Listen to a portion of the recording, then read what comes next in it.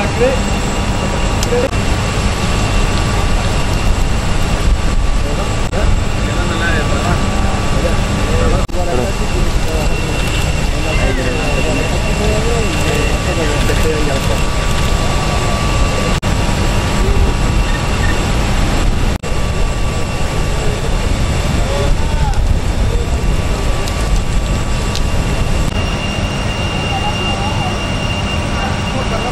Estamos todos acá.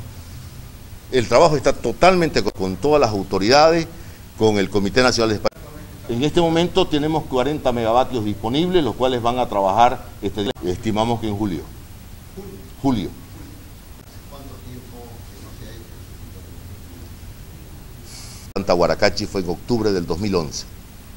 ¿Ya? En octubre de 2011 se hicieron una serie de trabajos para la puesta de nada con la transportadora de electricidad y con la CRE. El día domingo la previsión es del orden de 180 a 200 megavatios en estas horas. Entre el transporte, planta, planta Santa Cruz. Santa Cruz demanda en su horario pico, en los días de calor.